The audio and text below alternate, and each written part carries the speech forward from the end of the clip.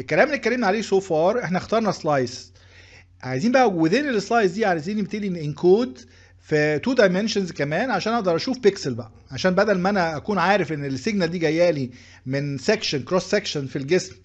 تخين كده خالص عبارة عن حاجة لها thickness معين بس إيه عبارة عن cross section كامل لجسم الإنسان.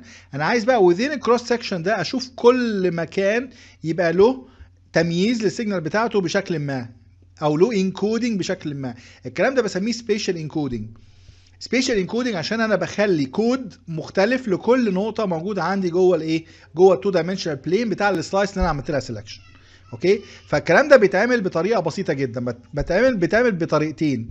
يعني أو الفكرة الأساسية مبنية على إن أنا encode ال location by إن أنا أغير ال frequency بتاعها.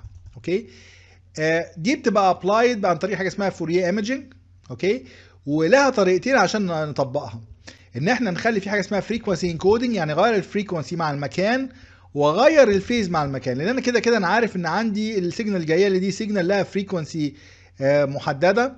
لو غيرت ال frequency دي في range صغير ببقى عارف إن كل واحدة من ال frequencies المختلفه جاية من مكان معين أنا عارفه. ولو غيرت كمان ال phase يبقى معنى كده عرفت ممكن encode ال dimension التاني بالشكل ده. okay؟